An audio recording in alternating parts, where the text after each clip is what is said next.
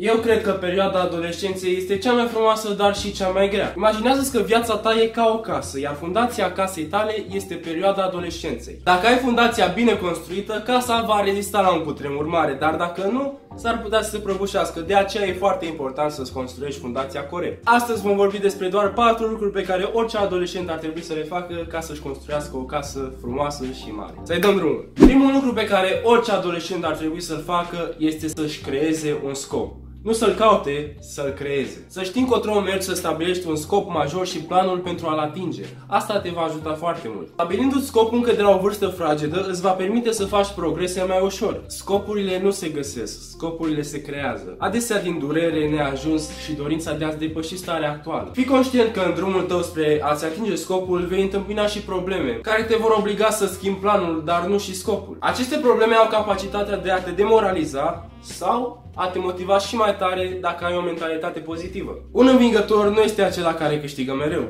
Asta e imposibil. Un învingător este acela care atunci când pierde poate să se enerveze, poate să se simtă nasol, dar încearcă din nou și din nou și din nou până când reușește. Un pierzător este acela care atunci când eșuează își acceptă soarta și e supărat pe viață. Cam asta e diferența între cei doi. Așadar, creează scopul, fă un plan pentru a-l atinge fă schimbări dacă e nevoie și rămâi perseverent. Al doilea lucru pe care ar trebui să-l faci dacă ești adolescent este să-ți dezvolți obiceiuri. Așa cum am vorbit mai devreme, pentru a-ți atinge scopul suprem, ai nevoie de un plan. Un plan care conține acțiuni care trebuie făcute în mod repetat. Aici intervine obiceiul. Obiceiul te ajută să economisești timp, energie și spațiu de gândire. Asta pentru că obiceiul acționează în subconștient, fără ca tu să fii nevoie să faci vreun efort. Făcându-ți obiceiul la vârsta asta, acestea te vor ajuta pe tot parcursul vieții.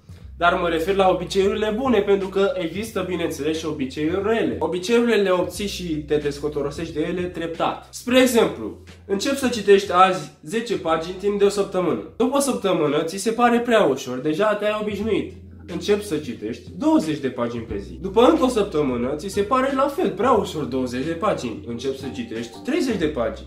Și tot așa. La fel și cu obiceiurile proaste. Mulți zic, bă, gata, mâine mă las de fumat. Dar niciodată nu se lasă. Asta pentru că ei se așteaptă să renunțe la obicei pe care poate l-au de mult timp într-o zi, varianta mai eficientă este să le lași treptat. Să zicem că fumezi 10 țigări pe zi. Treptat, o să încerci să tai din ele. Adică peste o săptămână o să fumezi 9 țigări pe zi. Peste încă o săptămână 8 țigări pe zi. Și tot așa până nu o să mai fumezi deloc. Știu că pe hârtie pare destul de ușor, dar nu este chiar așa. De aceea ai nevoie și de voință. Voința nu poate fi învățată, ea vine din interior și din dorința de a face o schimbare. Al treilea lucru pe care ar trebui să-l faci dacă ești adolescent este să-ți dezvolți abilitățile sociale. Dacă te uiți la orice om de succes din ziua de astăzi, vei observa că au în spate alți oameni care i-au ajutat să ajungă acolo. De aceea e foarte important să creezi conexiuni și relații și să-ți dezvolți această abilitate de a socializa ușor. Ca adolescent, din cauza exploziei hormonilor, Tin să crezi că le știi pe toate și cei care nu sunt de acord cu tine sunt dușmanii tăi. Fapt care te poate băga într-un conflict destul de ușor. Caută să eviți situațiile conflictuale și să fii suficient de matur încât să-ți dai seama că nu vei avea niciun beneficiu de pe urma lor. Am făcut un video mai de mult în care am vorbit mai pe larg despre acest subiect la încolțul din dreapta al ecranului. Încearcă să socializezi la școală, la petreceri, în autobuz, la sală, oriunde ai ocazia, cu oameni de toate vârstele. Cât o faci mai mult, cu atât vei stabili relații mai bune care s-ar putea să te ajute pe mai departe.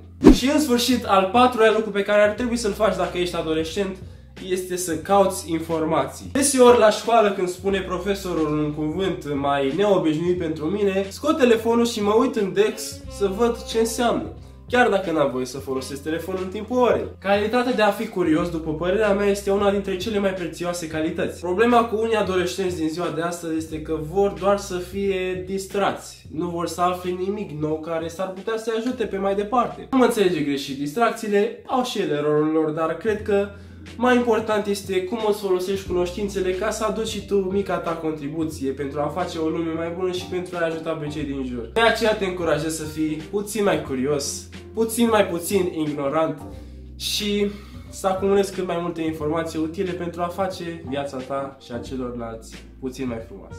Da, oameni, acesta a fost videoclipul de astăzi. Dacă v-a plăcut și v-a fost de ajutor, vă rog frumos să distribuiți mai departe, să vă abonați, bineînțeles, dacă n-ați făcut-o și să-mi dați un follow la Iacobescu pe Instagram, unde puteți, bineînțeles, să-mi adresați orice fel de întrebare legată de viața voastră personală, iar eu voi încerca să vă ajut. Aveți linkul în descriere. Acestea fiind spuse, eu am fost Advice sau Edi și până data viitoare, nu uita, pune un reușită, un rateu. Pa, pa!